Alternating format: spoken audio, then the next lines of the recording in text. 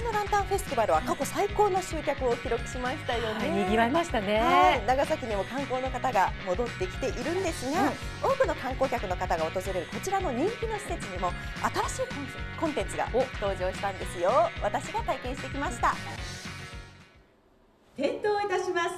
一二三点灯です。ありがとうございます。映像が始まりました今日軍艦島デジタルミュージアムの4階に新コンテンツ立体シアターが登場しました。えー、わあすごい綺麗ですね。はい。本当にあの臨場感ありましてですね、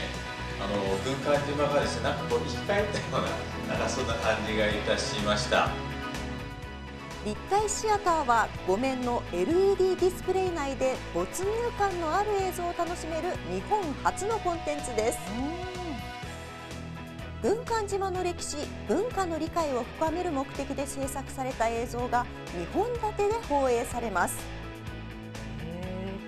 現在から過去へタイムトリップしたりタッチセンサーで画面を操作したり新感覚の映像体験ができます、えー、何か出てきてる。わこちらは2015年に公開され軍艦島でロケが行われた実写版映画「進撃の巨人」の特別バージョン。へ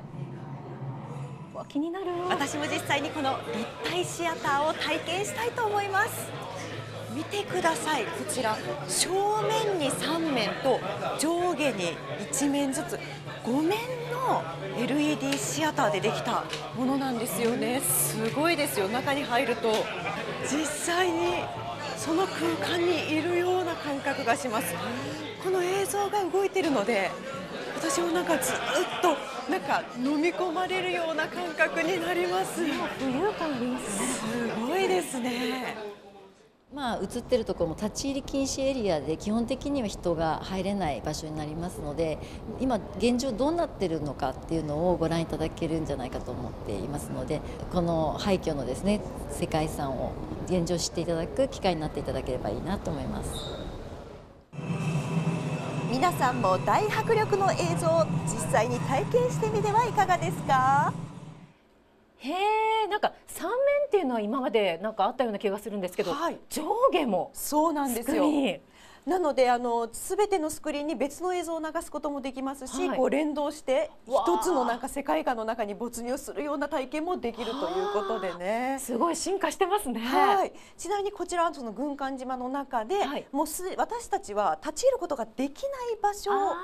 映像にしたものなんですよね。なので今こう軍艦島クルーズで行って上陸しても見られない映像をここでなら体験できるということでね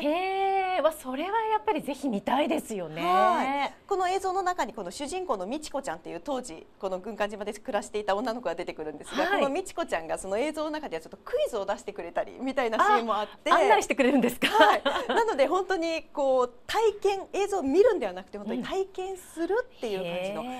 新しい立体シアターなんですよね。